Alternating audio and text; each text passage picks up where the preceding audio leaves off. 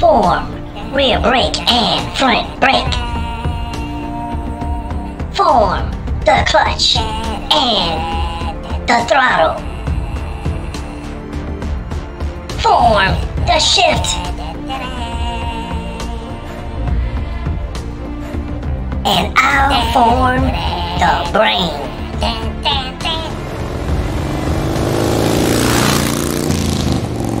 What up, everybody? Welcome to the Keep Living channel. I am the KL Rider. So let's get into this. We're going to learn how to ride a motorcycle, and we're going to start right now with basic controls. So, on your left side, you have your clutch. Left side is your clutch. Left side is your clutch. Left side at your foot. If you can see, left side. Left side is going to be your shift.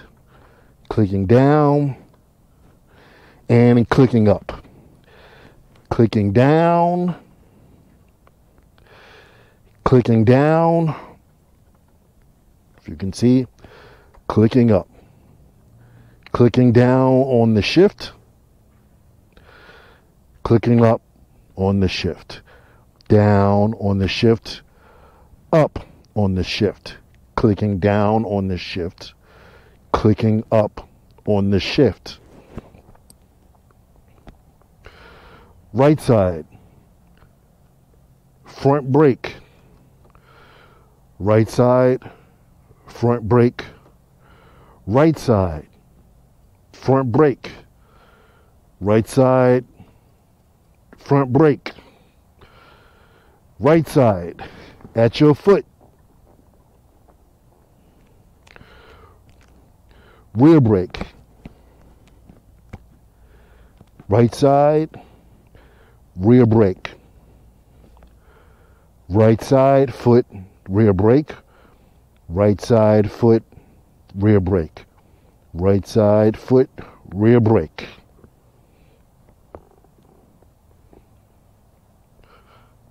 Your clutch,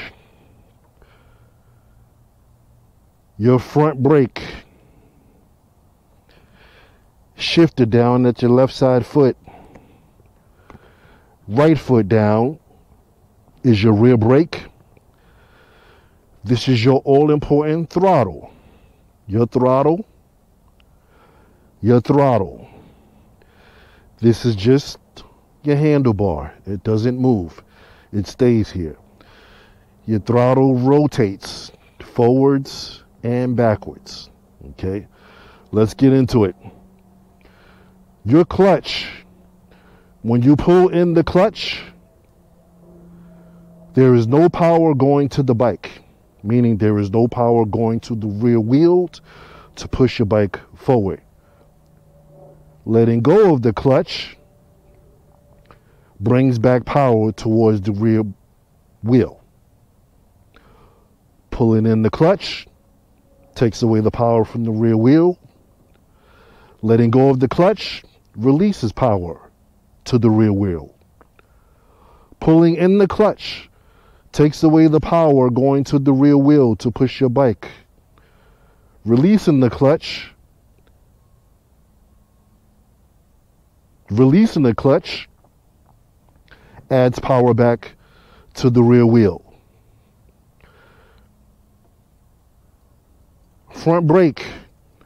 Your front brake is 70%, 70% stopping power, 70% stopping power, 70% stopping power is your front brake, which is your front wheel.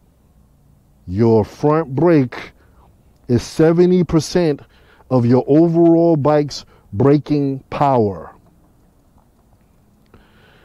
Your rear brake, your rear brake is 30% of your bike's overall stopping power. Okay? Meaning that your front brake is responsible for literally 75, 70 to 75% of your stopping power comes from your rear brake. Okay? Your throttle, this is your throttle.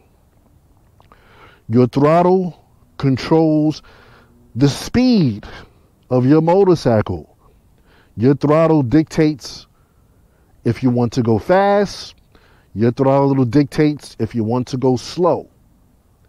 When you rotate your hand backwards, you are revving the throttle, meaning that you are giving the bike more power, more gas to go faster. When your hand rotates forward, you are decreasing speed to your motorcycle. You are decreasing power and gas to that motorcycle, and you're going to decrease speed. And that is relative to your RPMs, which we'll get into another video. Your RPMs will display how much power you are giving your bike before it's actually time to shift to the next gear. All right. So this is how much power you have to give speed or decrease speed. This is your clutch. Remember what I said? Your clutch is to take away power from the bike. If your bike is moving, let's say at 20 miles per hour, you pull in the clutch.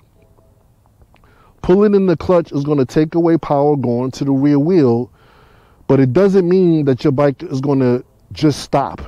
Your bike is going to continue to roll like a wheel will roll until there's no gravitational force to keep the wheel actually moving forward.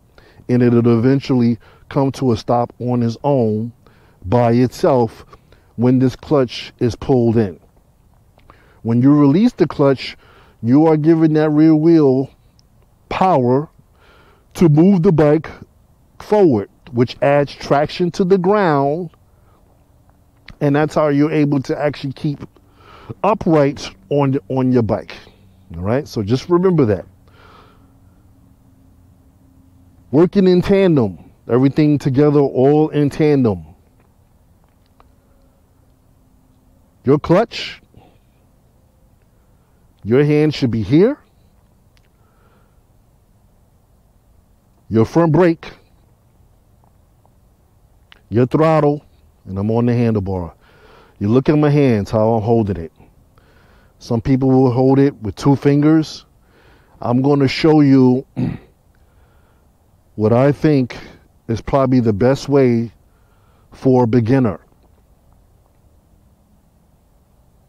These fingers, all your fingers, should be able to reach both of these levers. Okay? the positioning of the levers is very important. If you notice, my clutch lever and my brake lever are pointing slightly downwards. That's so I don't make a mistake and rev the throttle by accident because I'm trying to pull in the front the front brake. If you ever seen those videos where people sit on a bike and then as soon as they get on, the bike just revs and they just go out of control and they smash right into a tree, two things. One, they don't know what they're doing. Two, this lever can be so far up that it causes them to just automatically roll their wrist backwards, which increases the speed of your bike into a fire hydrant. You don't want that. All right. So to position your hands on the bike, when you position your hands, you position your hands in a reverse supinated pro- position a reverse supinated po- position. What do I mean by that?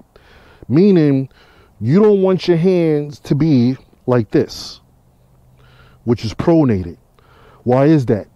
Because you have more throttle that you can engage. If you look at my right hand, you have more throttle you can engage all the way down. You don't want that as a beginner because when you get on the bike, soon as you get on, you're gonna get on and you're gonna go like this, and then zoom, you're taking off when you get on your bike, my bike is off right now, we'll get into that in another video. When you get on your bike, you place your hands in a reverse supinated position, or supinated if you want to pronounce it that way. Meaning, your wrist should be like this, upside down. Reason being, when you put your hand on the on the uh, the bars, notice when I put my hand here, I can't really go that much further. You see what I'm saying? I can't really go that much further. So I'm not going to zip off if my hand was up here and I get on a bike and now I'm, you know, revving the throttle like that. You don't want to do that. You want to keep your hands off the throttle somewhat, pushing against it, and re- and, and relaxing. So that way you don't get that extra speed, that extra speed burst out of out of nowhere. Okay, pulling in the clutch is what you're going to be doing pretty much most of the time. At red lights, when you come to a stop, and we'll explain that in another video. But pulling in this clutch, engaging your front brake, rolling off the throttle. All right. So we got your clutch, your front brake, your throttle, your shifter, your rear brake. These are your basic controls. The next video, we'll get into exactly what they do. But I'm repeating this so you know what it is. Your clutch, again, takes away power going to the rear wheel. Meaning when you pull in this clutch all the way, it disengages power and your bike won't move if you're still. If you release the clutch, your bike will begin to move. If you release the clutch too fast and you don't give enough power going at the same time, your bike is going to pretty much lock up and um, it's going to shut off. But we'll get into that. But just know your clutch. This is your clutch. This is your front brake. This is your throttle, your shifter, your rear brake, your clutch, your front brake, your throttle, your throttle, shifter, rear brake, clutch, rear brake. No, I'm sorry. Clutch, front brake, throttle, clutch, front brake, throttle, clutch, front brake, throttle, shift. This is your gear shifter, gear shifter, left foot, gear shifter, left foot, right foot, rear brake, right foot, rear brake, clutch, front brake, 70% of your overall bike stopping power. Rear brake, 30% of your overall bike stopping power. Both important.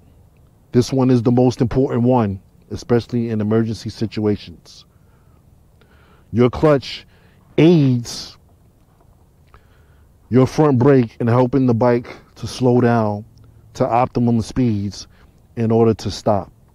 You pull in the clutch slightly, brake, roll off the throttle. We'll get into hand positions and all of that, but I just want you to know what the controls are. Your clutch, front brake, throttle, shift, rear brake. Rear brake, front brake, your throttle, your clutch. This is just the handlebar, your shifter. Got it? Do we got that? One more time. Clutch, front brake, throttle, shifter, rear brake. Clutch takes away power from the rear wheel to push your bike forward.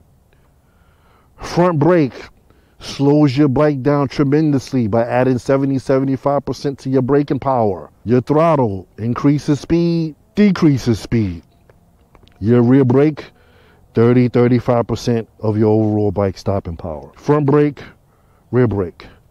Front brake, rear brake at your feet, clutch, shifter.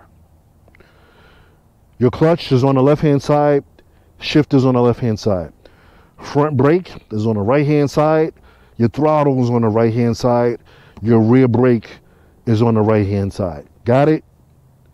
Watch the video again if you need to know the positions of these controls. I'll see you on the next video and we'll get into actually starting the bike and turning it on.